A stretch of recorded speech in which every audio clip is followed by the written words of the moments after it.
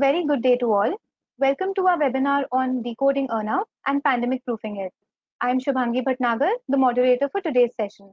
Our panelists for today are Ms. Aarti Narsana, an off counsel at the Mumbai office of Vaish Associates. Aarti has been with the firm for almost 13 years. She is experienced in M&A, private equity, and corporate advisory. She has advised various international clients on marquee deals including multiples private equity, Oak Hill Capital, Hindustan Unilever, Continental Group, etc. She has worked across various sectors including aviation, healthcare, manufacturing, services, and NBFCs. Our second panelist is Mr. Kalpit Khandelwal, a principal associate at the Delhi office of Vaish Associates. Kalpit has a total experience of almost eight years. His focus areas are M&A, private equity, corporate restructuring, IBC, and joint ventures.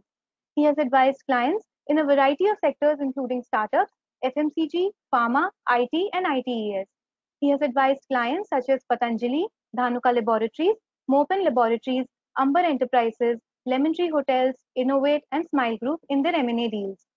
Our third panelist for today is Ms. Priyanka Jain, a principal associate with the Mumbai office of Vaish Associates. Priyanka primarily works with the tax team. Some house rules before we begin.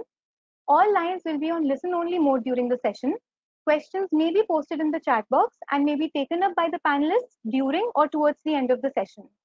With that, let us get started. Let us begin with a very basic question first.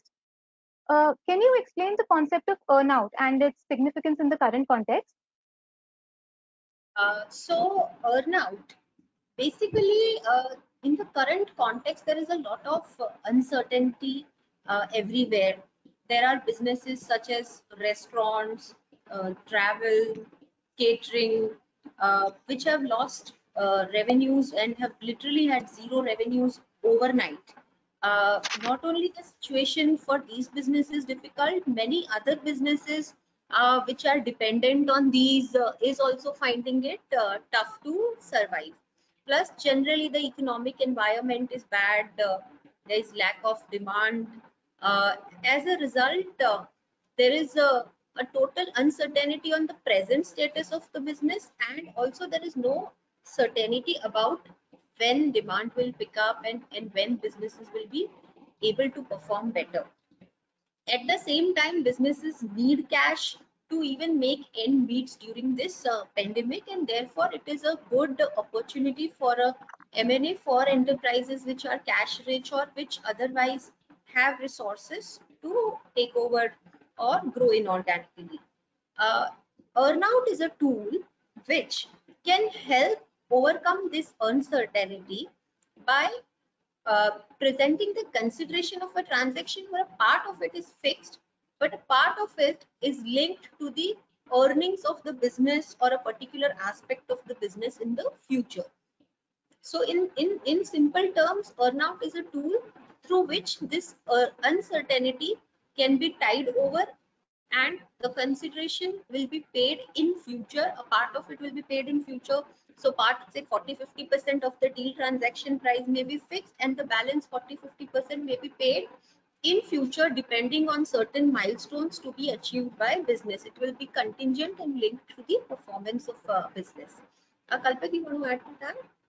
Sure. Uh, so I, uh, I completely agree with you that this COVID-19 has brought a lot of uncertainty and particularly if someone wants to do a deal today, he would be uncertain what is the valuation, what valuation he should think of. Um, so earnout is one of our tried and tested tool for bridging the valuation gap between the seller and buyer. Uh, we have seen being used earnout model in past also, uh, but in few industries like startup industry, pharma industry, digital media industry very often. But it seems to be like going forward, we may have see this kind of a deals in almost invariably in majority of the deals. What is happening in the current scenario is one on one hand, buyer is arguing that COVID-19 uh, due to COVID-19 valuation have gone down drastically and past business models will not work in future as effectively as it were working earlier and therefore what he will propose to the seller is is as follows that i'm willing to acquire your company but at a reduced valuation say for example 100 crores on the other hand seller would be arguing that the impact of a COVID-19 is only for a very short term, say three, six months, and has not changed the fundamentals of the business model. Hence, there should not be any decrease in the valuation in this deal. And therefore, what he would suggest is a higher valuation of say, let's say 150 crores. In such a scenario, what is going to happen is that the earnout will come will come as a compromise between the two parties and wherein and could be a win-win situation for both the parties by wherein buyer can propose that i am happy to pay you an upfront consideration of say 70 crores. And as you are saying that uh, earnout uh, covid has not impacted the valuation and future business models. So if business achieves the future business projection as you are stating then i am happy and willing to pay you a little bit more consideration rather over the current which you are proposing. So let's say say he may propose a hundred crores. So in that scenario it could be a win-win situation for both. And if really covid does not has not impacted much on the business model it will be a very good solution for both. If not it will still be a win-win situation because that's the combo the deal which they have done Aarti, in your view, apart from bridging the valuation gap, is there any other way, uh, other benefit that uh, earnout provides to the buyer or the seller? Uh, yes. So, apart from uh, bridging the valuation gap, earnout could also be a, a funding tool because the buyer does not have to make the payment of entire consideration upfront, and there is a deferment. To that extent, the buyer does not have to arrange that kind of cash, and uh, so it uh, plus as and when the new business starts generating revenue, buyer can use that revenue to actually pay the seller. So it can uh, work as a funding arrangement. Also, a lot of time uh, parties need support of the seller for smooth integration of the business and even for proper transition and handover. And if the seller is expecting an earnout payment, the seller has a greater commitment and a, a, continued skin in the game to ensure that the buyer gets a smooth and efficient uh, handover and the business continues and does not you know uh, suffer due to the change of hands. Also a lot of time invariably whenever there is an earnout uh, agreement i've seen parties uh, use also earnout to recoup or settle uh, set off the indemnity claims against the earnout uh, so these are some of the additional benefits that earnout offers. So what parameters have you seen in the past which you also expect can be used in the current scenario while structuring an earnout? See, uh, it depends upon purely upon the business, industry, intent and future outlook of the parties. But broadly speaking, earnout metrics could be bifurcated in two buckets, financial and non-financial metrics. Financial metrics could be like uh, gross revenue, EBITDA, net profit, earning per share, or some other financial targets. Sellers generally prefer gross revenue as an earnout metric because it is less manipulated by the buyer. Uh, some people, it may be said that it incentivizes uh, the seller's management to grant unprofitable deals to customers.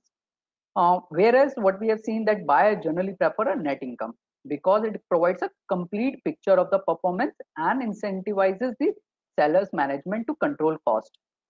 What we have seen also that parties often agree on EBITDA as a compromise here again uh, because it factors the operational cost and excludes the non-operational cost. And therefore, EBITDA comes as a compromise between a gross revenue and a net income. The other kind of metrics which we have seen in past is a non-financial metrics non-financial metrics could be like product development timelines number of customers number of products sold or launched like that. Like in one of my deal i remember uh, where the target company was engaged in a co-working space business the number of count of seats was used as a non-financial metrics. Typically non-financial metrics are used when there is not much of historical information to use as a basis.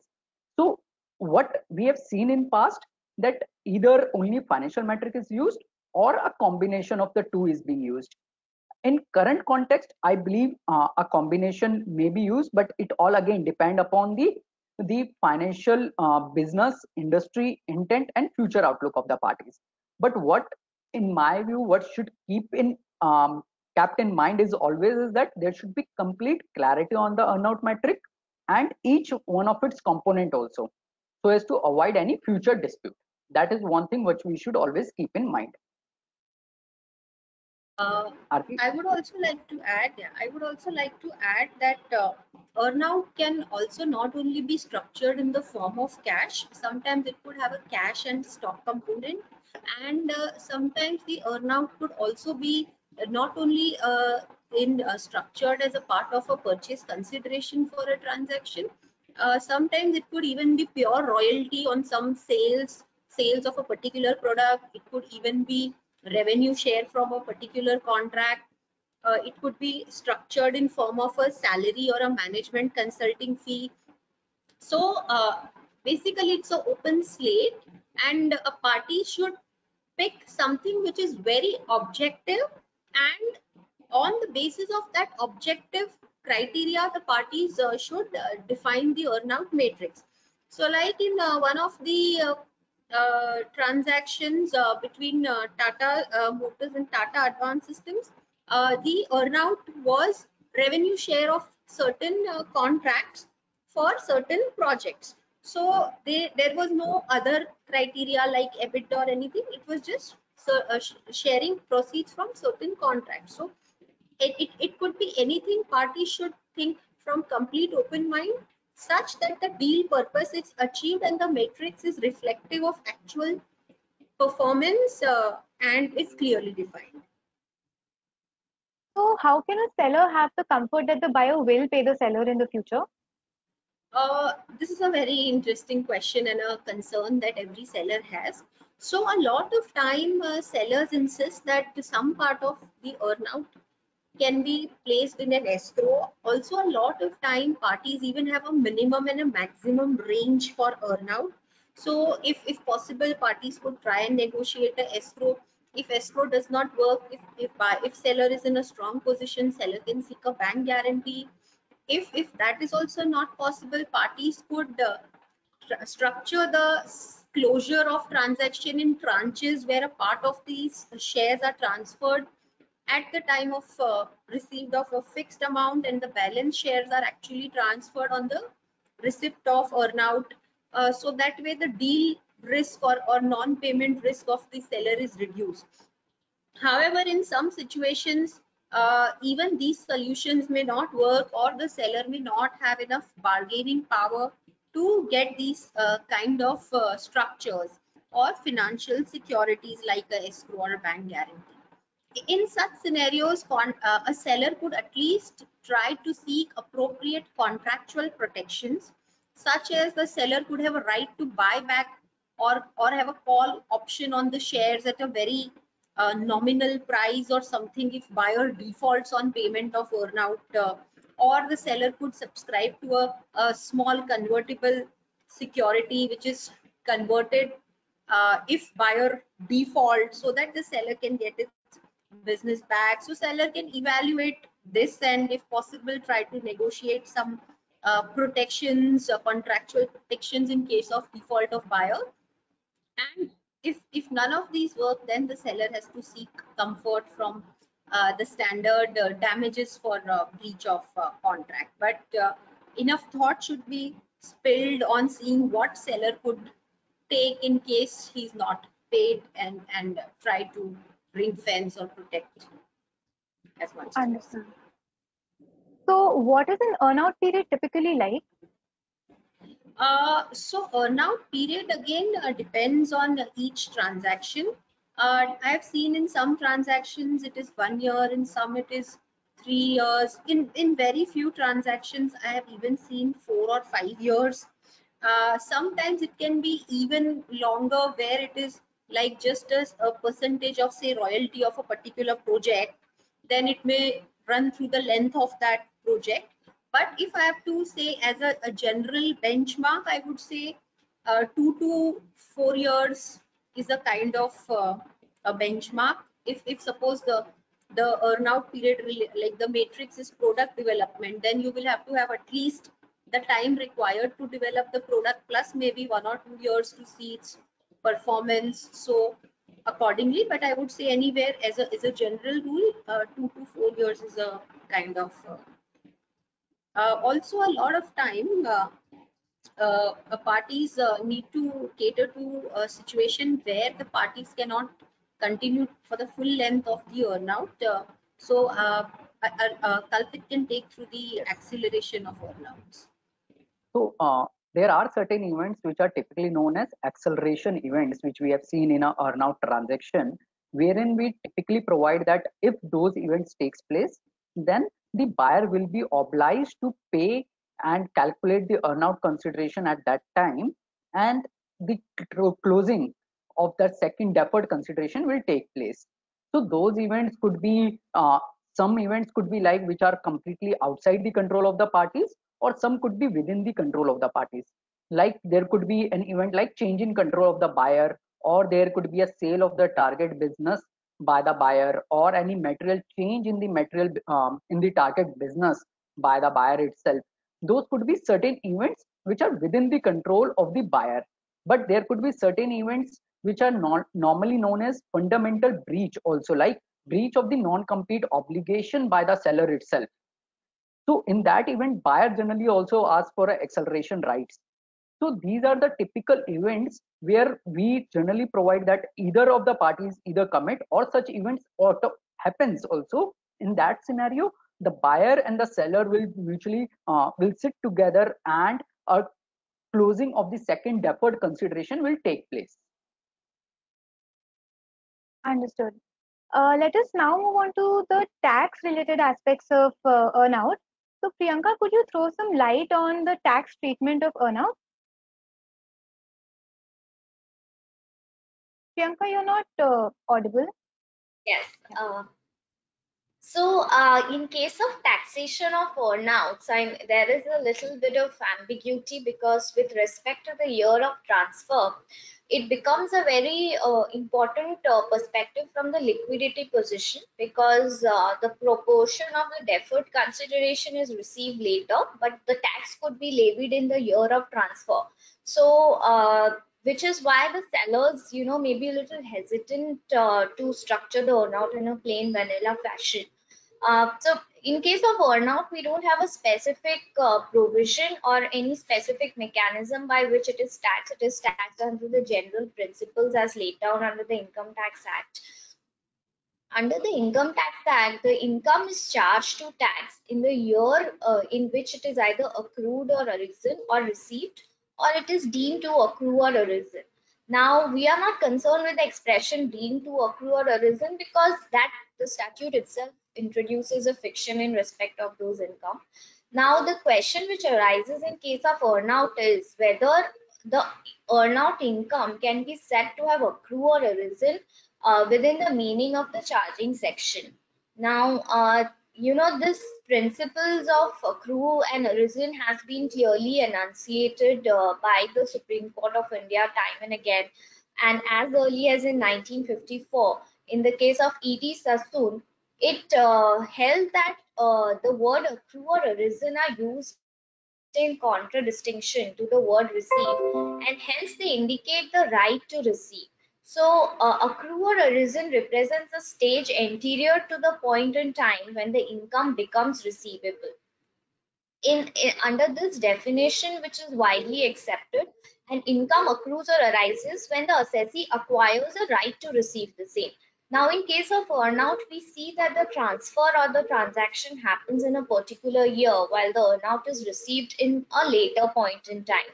The dispute generally arises that whether that earnout income is accrued or arisen in the year of transfer itself.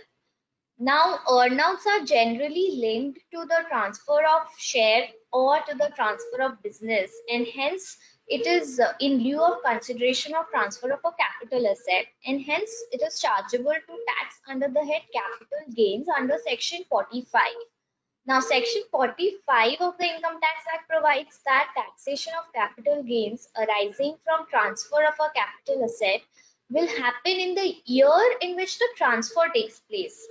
Now earnout are not received in the year when the transfer takes place. Hence, the taxability is a widely debated issue. Specifically, in case of a cross-border transaction, where the seller is a non-resident, the capital gains are subjected to India if we do not have a treaty benefit.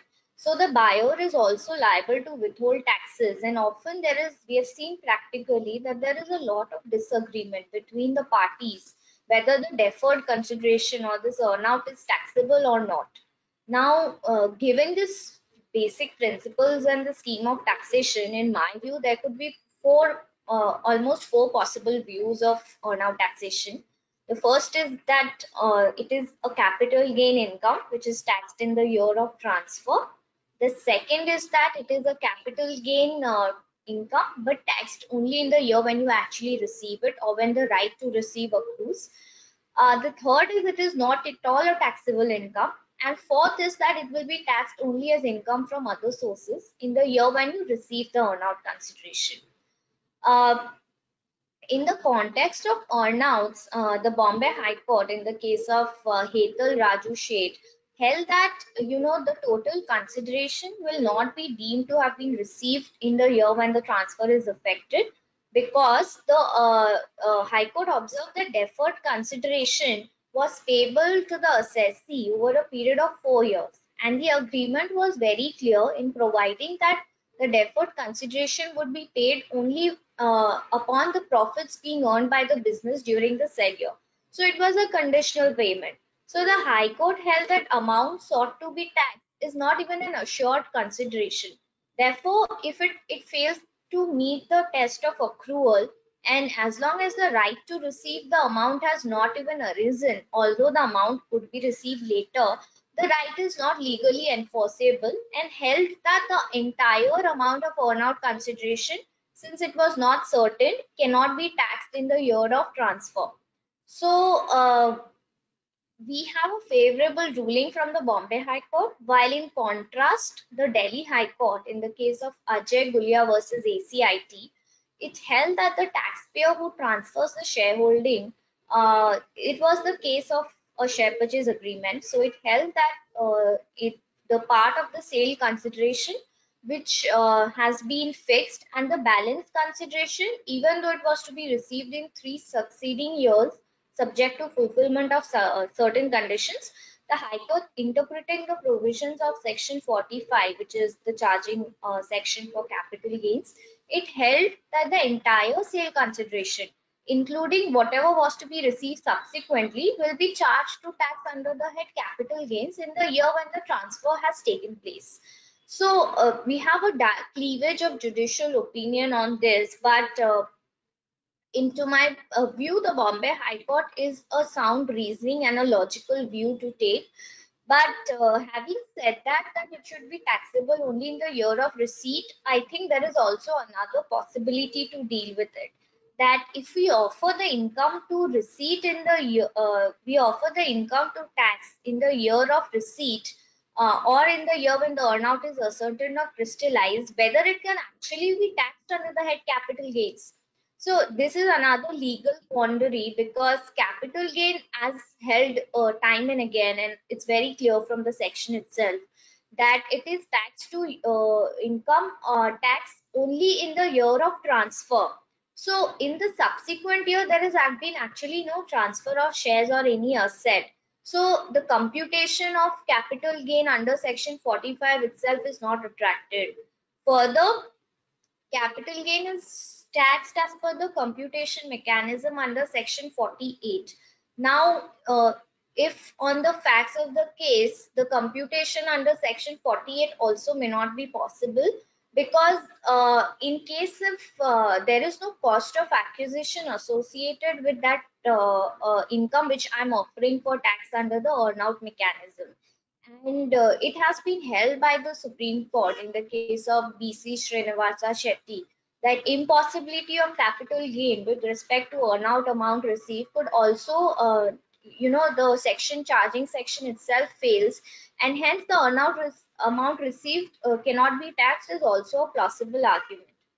I think the last possibility uh, is that if it were to be taxed uh, if it cannot be taxed as capital gain because the computation mechanism fails it can the department would uh, try and tax it under uh, income from other sources because uh, they will not want to uh, uh, give up give away the right to tax because at the end of the day there's certainly an income because of but of the peculiar provisions and deeming fictions it may not want to escape the uh, taxation bracket.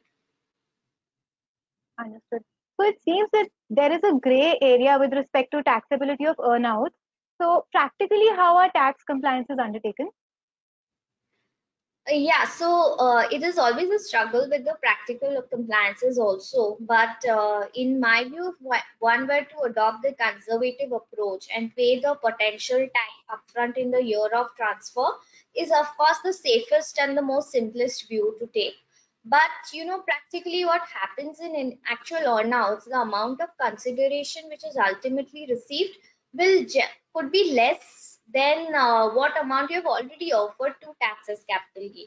So uh, to mitigate this practical difficulty, uh, in my mind, there are two possible ways to correct the computation of capital gain.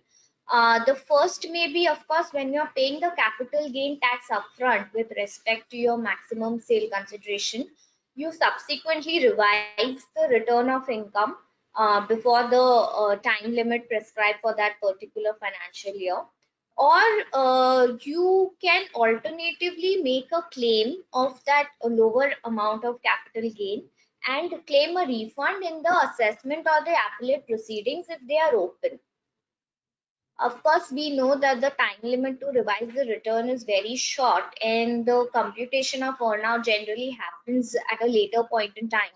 So, uh, if there is the option to revise the return is not there or if if supposedly there are no proceedings also which are open in which you can make a claim i think one can explore filing an application under section 119 of the income tax act uh, which provides that you can uh, approach the cbdt for accepting the revised return in case of unusual circumstances and allowing you the claim of re refund. Because apart from uh, this the income tax regime provides no other mechanism for recovery of tax paid in the event of a reduced consideration which is uh, decided in future. The i think uh, another third option which can be seen is that when you offer the full amount of consideration to tax and subsequently the amount is reduced when it is actually quantified uh, their uh, basis for decision of Madras High Court in case of TV Sundaram Iyengar we can uh, probably uh, explore to claim capital loss in that year in which the uh, amount is actually quantified or ascertained. So the Madras High Court did observe in a similar scenario, it was not a earnout case, but in a case where the capital gain was subsequently reduced due to non-recovery, it said that if it subsequently happens that money is not actually received, that would be a capital loss arising in the year when the money becomes uh, recoverable. And uh, of course, the other possibilities that you pay capital gains tax only with reference to the actual amount received in the year of transfer. And subsequently, you uh, pay the shortfall from that amount either by way of revised return or you voluntarily offer that income to tax and pay the tax during the course of assessment proceedings. Uh, so can you throw some light on the way earnouts can be structured to avoid the tax uncertainty? Uh, Yes. Uh, so uh, what we could, uh, you know, contemplate is that uh, generally the deferred payments are contingent on the performance of the buyer, on the buyer and the seller, and hence it is uncertain at the time of closing. So I think when uh, when we are contemplating an acquisition, uh, there could be certain way out in which to avoid the tax uncertainty, people have been resorting to uh, de defining that agreement in, in a different manner. For example, you know, you can approach by uh, agreeing for a compensation for services in which there will be a manager uh, payout for services rendered in the course of employment. But uh, in this case, what happens is that uh, the income in the hands of the manager will get taxed as income from salary by manager, I mean the seller and the seller promoter. So uh, it will get taxed as income in the hands of the uh, manager at the rate of 30%. While had it been an earnout payment, it would have been taxed at uh, the capital gains tax rate, which is 20%. But the buyers would generally prefer this element uh, of compensation for services for non-tax motivations, of course, because they focus on ensuring the success of the acquired business, but also for tax consideration because the payment of these compensations are immediately deductible, while the payment for earnout uh, purchases is only capitalized. So this is one of one way which we have practically seen. The other is staggered share purchase. So you link the earnout to a staggered share purchase, and only the subsequent tranches of uh, share transfers will happen as and when the earnout are being quantified. The others, I think Arti also spoke about it, is royalty payments and uh, management fees. Uh, there's also another practical way to do it is to get, enter into negative covenants like non-compete fee and attribute the earnout payment to a non-compete uh, fees because there is a certainty about its taxation and hence uh, you can avoid the uh, contingency on the earnout payment. But uh, while I am talking about the alternate structures, I may just want to caveat it that the income tax officer will always try to link the separate service agreement or the separate royalty agreement with your share purchase agreement or the business transfer agreement.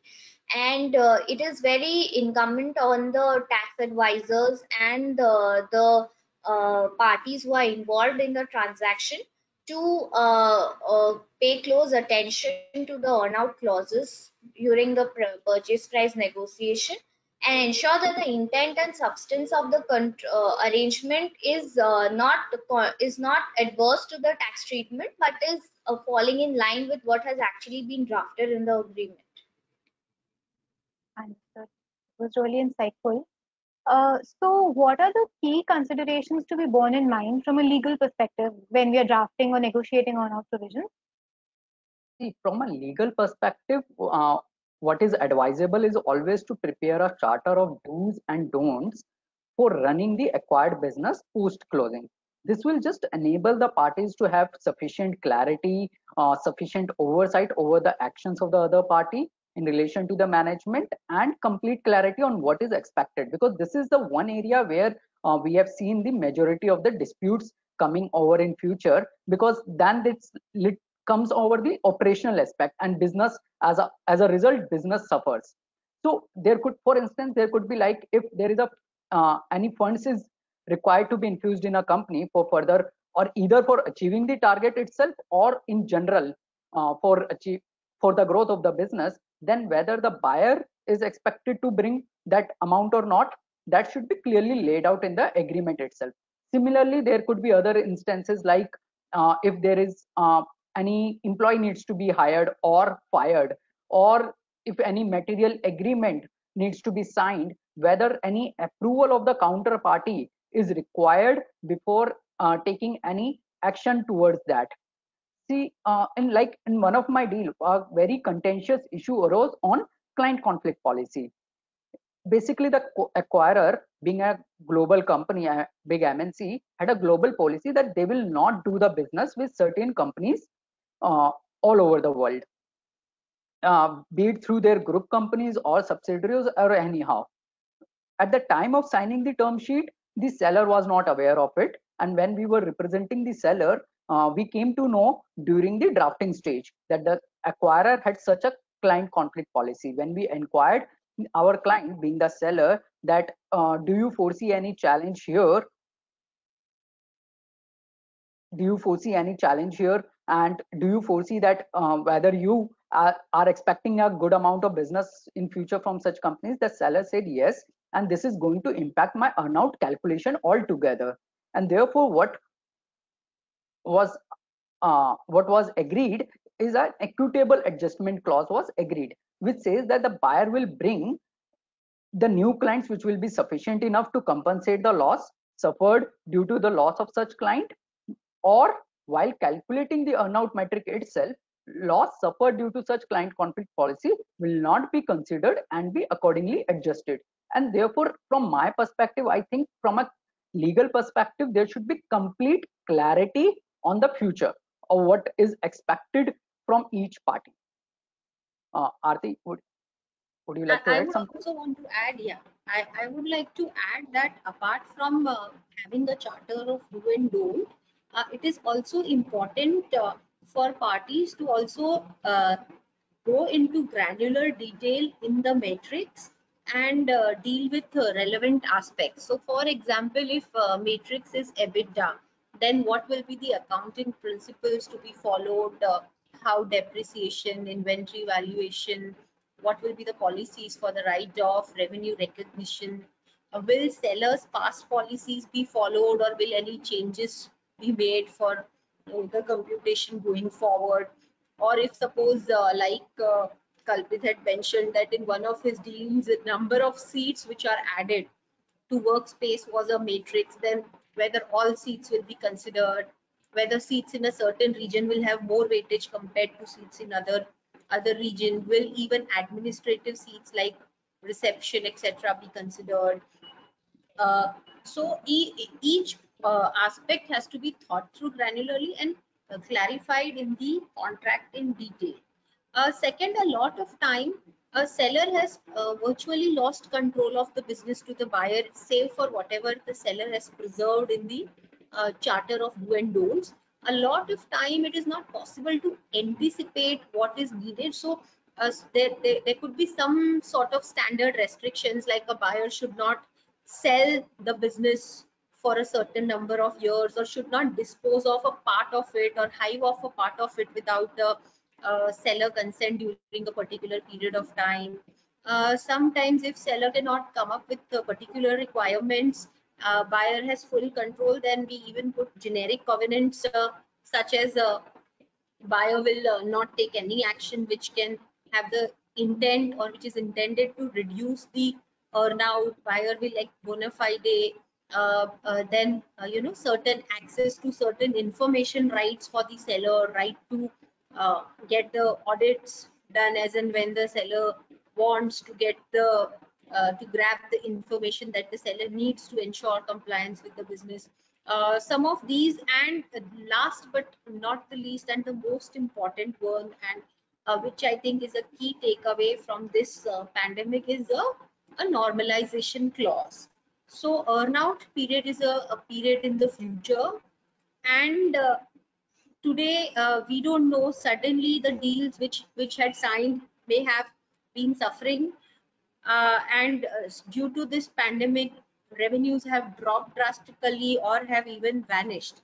So in such a situation uh, basically a normalization clause provides that if if for any reason the revenues or profits of business or the earnout matrix is adversely affected then in such case the revenues should be computed or the earnout consideration should be computed either by normalizing the period that is assuming that a certain average of uh, sales for a particular period should be extrapolated for the balance part of the earnout or the earnout period should itself stand extended. So once the effect of the uh, pandemic or event has reduced maybe the seller should get one or two more years to compute the earnout consideration.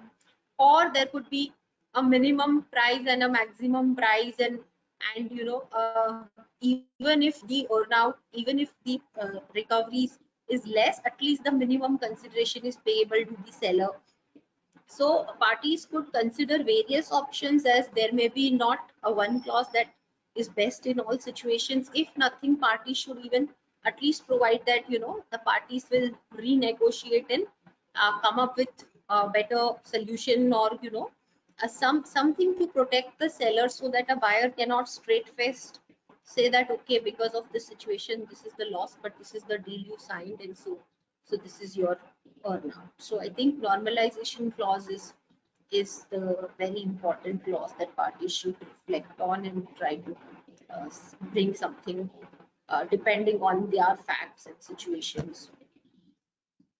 Understood. Uh, so what is the typical process of calculating or verifying the earnout consideration and how do you resolve any disputes? See, uh, normally what we provide is that the buyer immediately upon completion of the earnout period, buyer will prepare a statement uh, stating that this is the percentage of the earnout target which you have achieved. And accordingly as per the agreement this is the amount of the earnout consideration which is now payable by the buyer to the seller. Such statements are generally given by the buyer to the seller and immediately upon receipt uh, within a specified time period agreement stipulate that either seller has to accept it or provides his reservations on such calculation otherwise it will be deemed either he has accepted or rejected. And once the seller reverts with his uh, observations on the calculation statement buyer and seller generally sit together uh, iron out the differences between the two. And if they are unable to do it then an expert are generally nominated either under the agreement itself or appointed mutually uh, with with their consent. Uh, expert who generally we provide that expert will be an uh, he's an expert and not an arbitrator. And however his decision will be final and binding. We sometimes also generally provides that the the disputed portion will not be paid right now but the undisputed portion pending the resolution of the dispute will be paid to the parties. So that's how the typical process provides for. Understood uh, so we are sitting in the middle of a pandemic uh, so uh, can a force majeure clause be invoked in uh, an M&A agreement to claim that earnout for the COVID year be calculated in the succeeding years after normalization of the business because otherwise the seller would stand to lose significantly. Uh, typically, a force majeure clause is to deal with situations where it is impossible, like physically or technically impossible to perform certain obligations.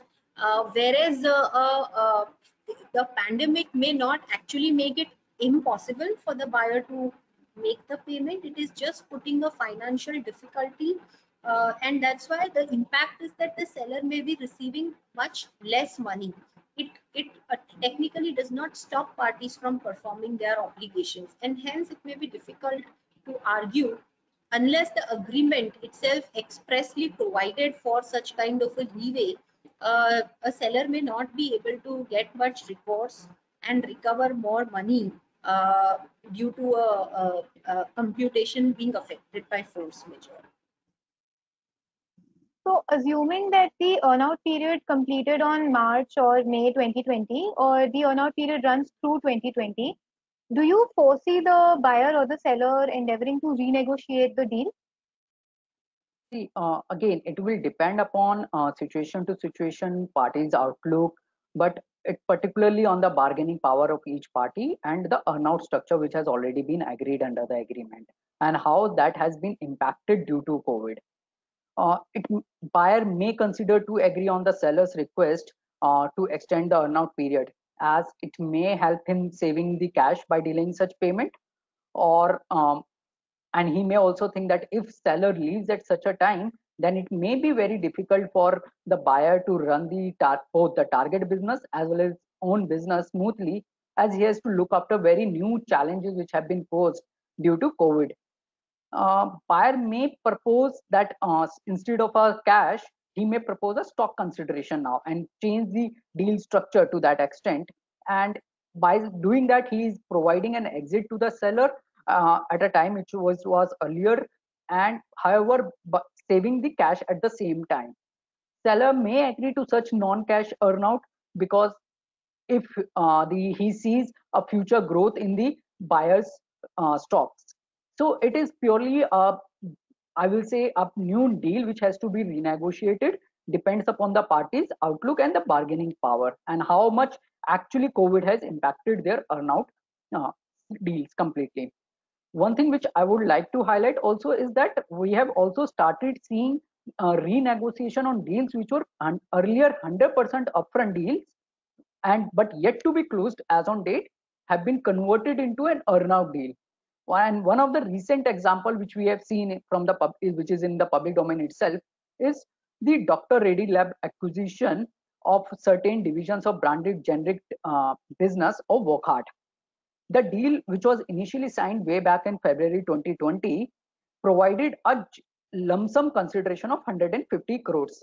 However, due to COVID, the sales uh, in the interim period has gone down uh, drastically. Buyer is uncertain whether the financial projections on the basis of which the initially the deal was signed, uh, signed is practically achievable or not in light of COVID. And therefore, what the parties have done in that deal is they have agreed to amend the business transfer agreement to make it instead of a 100% upfront consideration deal to an earnout model deal. Now the purchaser is proposing to pay uh, a maximum consideration of 150 crores, out of which up, upfront will be paid, a part of which will be paid upfront, and balance will be paid basis the revenue which is achieved over a period of 12 months. So that's how we have started seeing the renegotiation of the deals which are yet to be consummated even. Interesting. Uh, moving on to the FEMA implications uh, involved in an earnout, if one of the parties is a non-resident, what are the relevant regulations which should be kept in mind while we finalize earnout structures? Uh, so there could be two possibilities. Uh, one possibility is where the company, the target company is in India and the seller is a non-resident and the purchaser is an Indian. If there is a non-resident seller and there is an Indian purchaser, then under the non-debt investment rules, uh, the maximum uh, period of deferment allowed under automatic route is 18 months. And the maximum percentage of consideration that can be deferred is 25 percent. So if if this paradigms or if, if this parameters work for parties good. But if uh, this period or the percentage composition is not working then either the parties can seek approval from the regulatory authorities if that is not possible, parties may have to evaluate alternate structures, such as maybe the foreign investor can set up a company in India, and that company could do a, a purchase of the entire business as against a investment in uh, securities, because investing in shares is by a foreign owned and controlled company subject to the same restrictions uh, which it would have been if it was acquired through a offshore entity. Uh, another alternative could be that a seller could, in, in, in return of consideration, uh, be uh, offered a convertible uh, security or something uh, and uh, could be issued like the seller could subscribe to for a nominal amount to certain convertible security which could convert into equity shares depending upon the result of the earnout and then the seller could sell those shares to the uh, buyer or the company could buy them back. Uh, the other uh, situation could be where the company is located outside India and a resident Indian wants to sell the shares to a, another non-resident. Now, in this kind of a situation, uh, the overseas direct investment regulations do not provide any kind of mechanism for deferment of consideration at all. The entire consideration has to be uh, received upfront. So either the parties can explore, if possible, to uh, route this transaction through an intermediate company offshore, if that is possible. If that is not possible, uh, the parties could uh, evaluate alternate uh, transaction structures or do closing in tranches where a part of the shares are sold upfront and the balance is sold at a later date so that the consideration flows at the time of sale. Understood. Um, now, uh, let us move on to some of the questions which have been raised by the participants. Uh, one question is, can an earnout model be considered in a merger through scheme of arrangement? So the Companies Act does not contain any restriction uh, that uh, earnout cannot be structured uh, or a scheme of arranged cannot, it cannot have an earnout provision or that everything has to be paid upfront or anything. So the Companies Act provides complete flexibility to parties. And we have also seen the schemes where, uh, like in the uh, scheme for Tata Motors and Tata Advanced Systems, uh, they had an earnout clause. Uh, initially, the RD had raised an objection, but ultimately this was approved by NCA. so it is possible. The next question says, uh, can an earnout model be considered by a resolution applicant in a resolution plan under IBC? And if this will be considered as a conditional plan? See, uh, for in in relation to this, one is to understand the objective of an IBC. IBC objective is that there should be maximization of the value of the assets of the corporate debtor. And if uh, in the commercial wisdom of COC that the earnout model or a contingent consideration uh, which is paid, which is to be receivable by received in future, and that is also contingent, is the best uh, way to achieve the maximization of the value.